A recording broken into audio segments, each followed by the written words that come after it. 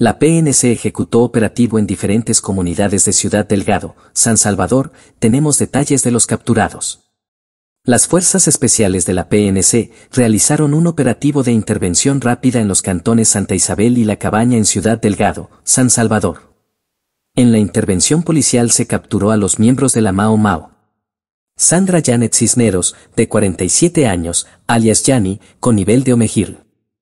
Edgar David Hernández, de 40 años, alias El Pega, con nivel de Homeboy.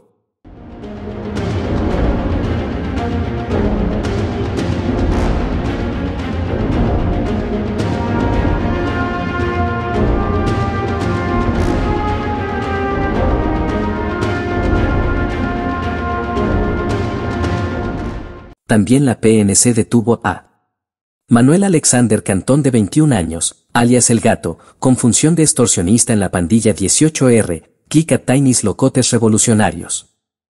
Este sujeto ya cuenta con expediente en el que se detalla, se encargaba de cobrar la renta a los camiones que extraían arena del río Cañas y obligaba a otros jóvenes a pertenecer a las pandillas. En Ciudad Delgado los comerciantes aprueban el trabajo del gobierno del presidente Nayib Bukele. No, sí, la, la, seguridad pues ha cambiado bastante, porque eh, ya por lo menos aquí ya no se mira tanta cuestión de robos y todo eso, más que todo este sector era cuestión de robos, ¿verdad?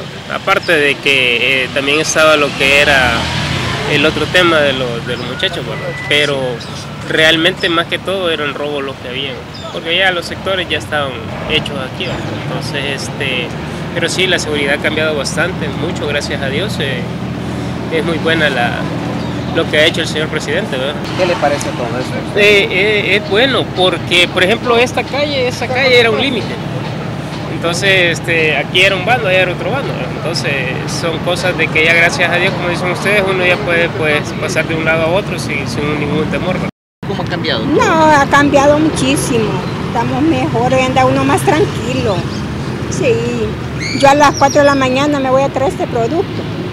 Y esa hora, pues bien galán, ahí voy para allá y sin ningún peligro. Era tremendo, pues uno no podía salir, ya a las, ya a las 7 uno tenía que estar en casa porque por el miedo, ¿verdad?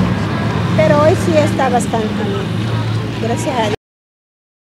El Gabinete de Seguridad con el Plan Control Territorial y la herramienta legal régimen de excepción buscará capturar hasta el último miembro de pandillas que durante muchos años afectaron a El Salvador.